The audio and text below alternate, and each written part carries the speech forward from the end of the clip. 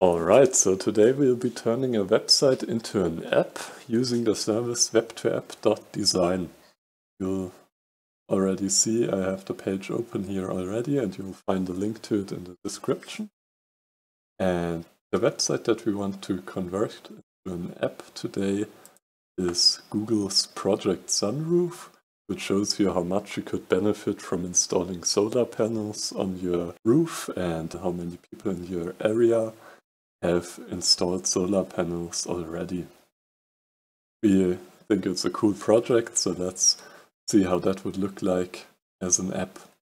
First of all, uh, scroll down a bit here. Okay, so this is what the page looks like and see how it looks like on a phone, in this case on an iPhone XR.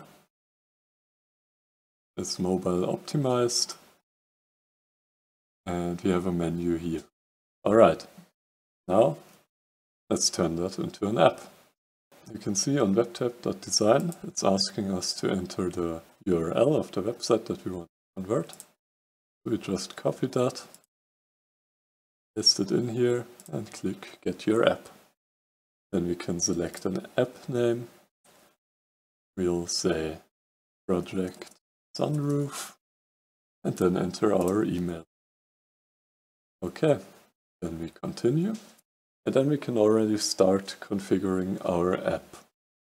So as a first step we are asked to upload an app icon.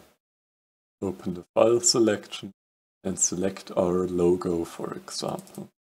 In this case we get a warning um, that the image is quite small because it is smaller than the recommended re resolution of 1024 by 1024 pixels.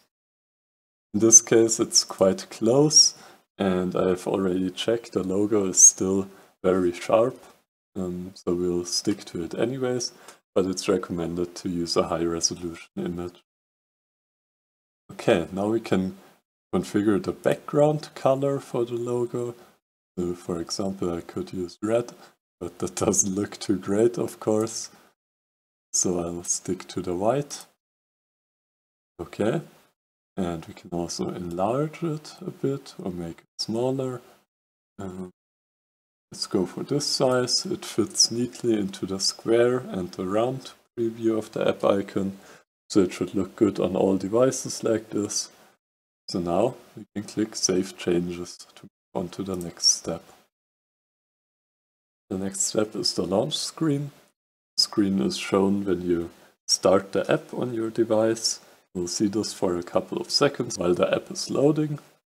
We could either use a different uh, image here if we have one, or also use the same image that we used in the app icon, like it is the default here.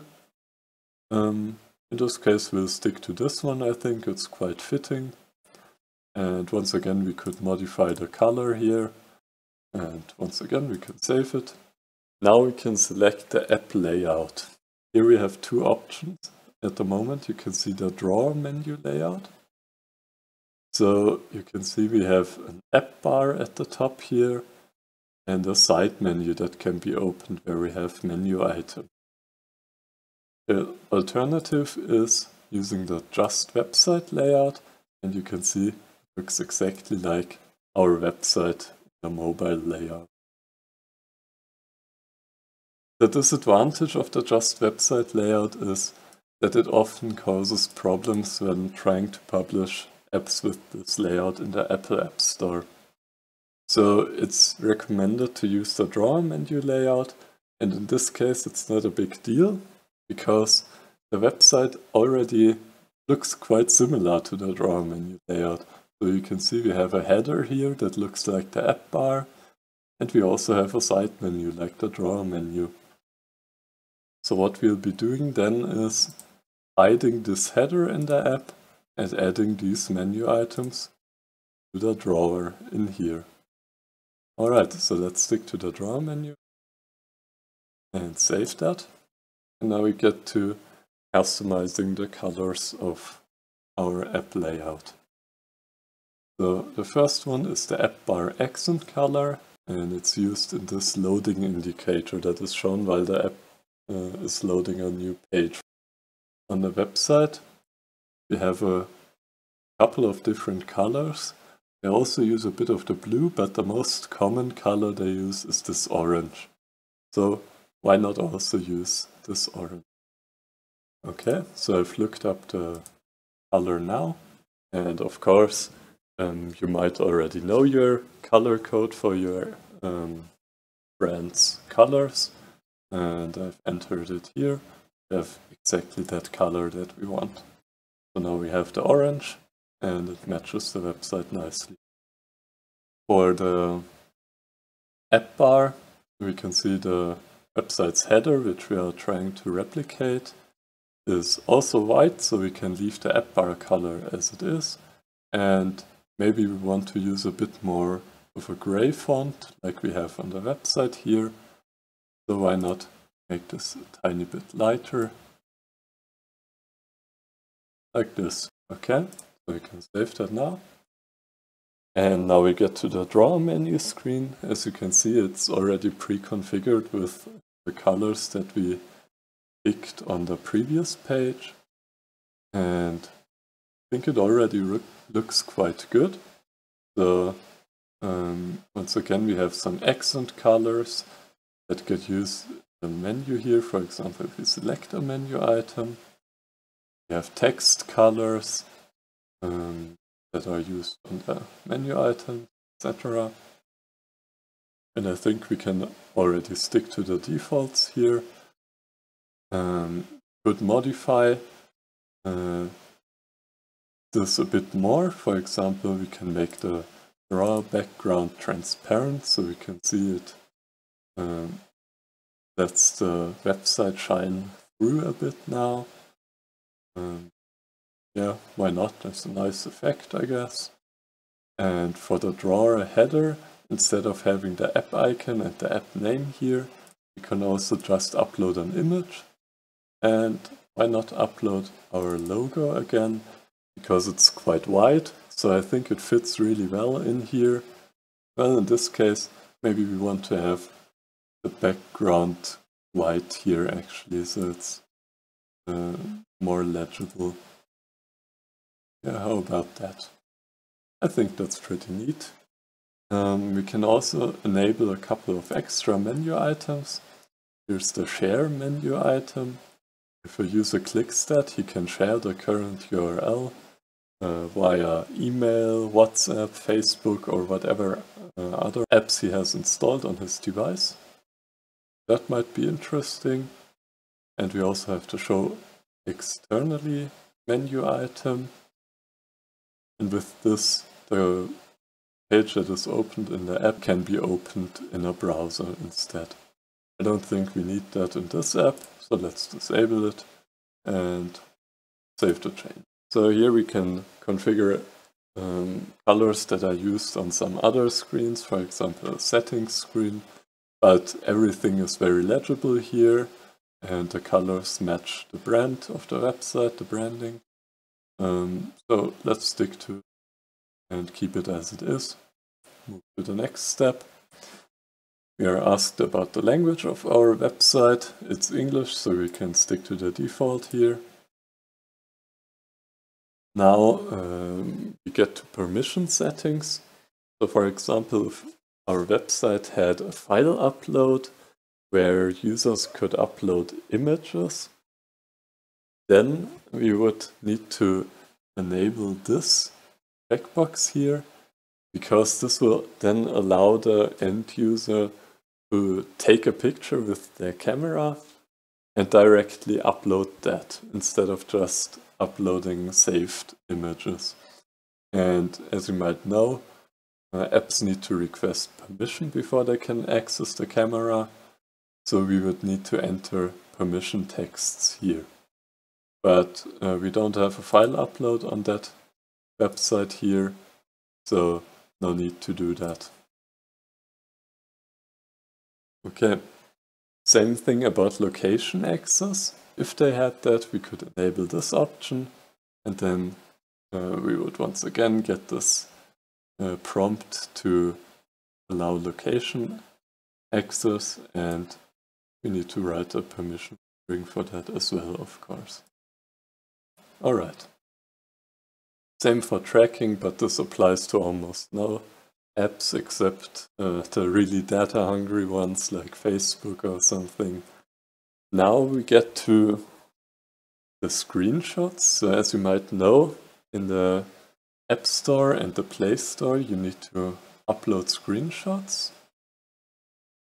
And these screenshots will be shown to users before downloading your app. So for example, I've opened the YouTube app here now um, in the Play Store. And you can see we have a couple of example screenshots in here. And on this page, you can let us know which pages you want a screenshot of. So for example, if you want a screenshot of your app showing this homepage, then you add this URL to the list of URLs to screenshot. And then we will take a screenshot of your app showing this page, and then you can upload the screenshot to your Google Play Store and Apple App Store listing. Alright, so this list is already populated with a couple of example URLs. We find the most popular pages from your website here, and that's how we find those. So these are usually already a pretty good default. Um, so we can keep those in this case. For example, if we want to remove one, we just click remove. Or if we want to add one, we would add the URL in here. Okay, and yeah, you need at least uh, three and can have up to eight because those are the limits set by the apps. Okay, now we have the last step already, the testing information. So if your website requires users to log in before they can use most parts of your website, then please provide an example account here so we can use that example account to log in and test your app, make sure everything is working fine.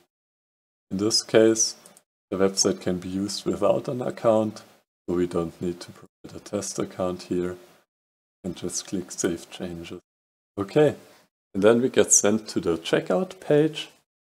There we can make our payment after choosing our uh, preferred subscription. We can switch between monthly and yearly billing. And then we can select a package that suits our website. Uh, if we have a lot of users, this small package might not be enough because it allows just 1000 monthly active users. That's measured like this. You see it in this info box. Basically, it's how many unique devices can open your app in one month. So if one person opens your app 10 times, that still counts as one user. So that's no problem there.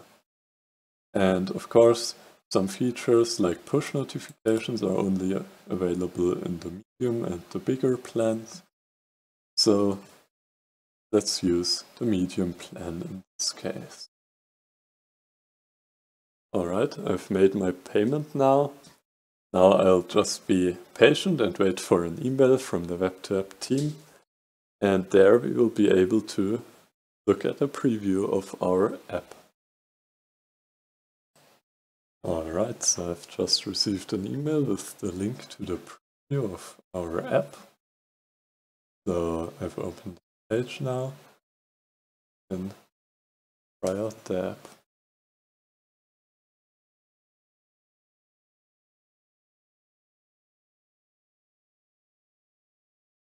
Yeah, so you can see we have the app bar here that we configured the website and it looks exactly like the mobile version of the website. Our menu, just like we've configured, logo at the top, transparent background, and the menu items. So let's compare it to the website once again. Mobile layout, so you have its header and you have the menu items see it's the exact same menu items. So webtoapp.design has configured that for us and also made sure that we don't have two headers at the top here, so just the app bar. That's what I meant at in the beginning, that this website has a layout that's quite similar to the drawer menu layout, so that's why we're why we picked it. Open that page. Installation process. Yeah. Alright. And then I think that looks pretty good. And I can click button here and we'll start the app publishing process. But that's uh, something for another video, I'd say. This doesn't get too long. But basically what will happen is webtoapp prepares some more things in the background. Then these timeline items down here get unlocked. And these are basically guides showing you how to publish your app in the Play Store, how to set up the Apple developer account, and then how to publish your app in the Apple App Store. So those guides lead you through the entire app publishing process and if you need any help, webtoapp team is always there to support you. Okay, I hope this video helped you out and hope that you decide to create an app with webtoapp.design.